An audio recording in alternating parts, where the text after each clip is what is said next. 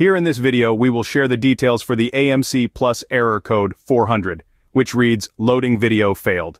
Based on our research this mainly comes while playing anything from their library.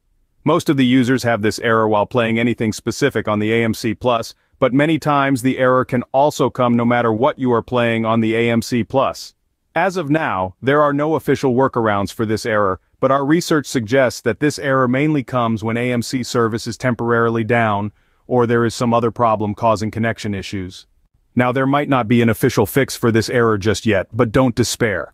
The issue often arises when the AMC service is temporarily down or when there's a connection problem.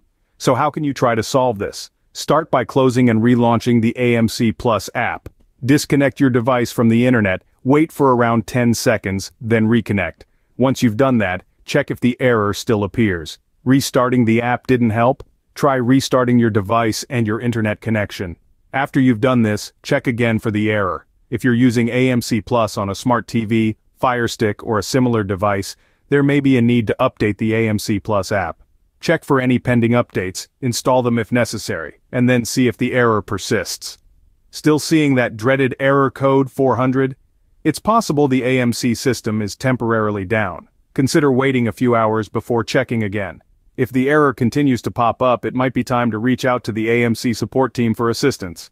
So, to summarize, if you're facing the AMC Plus error code 400, try these steps.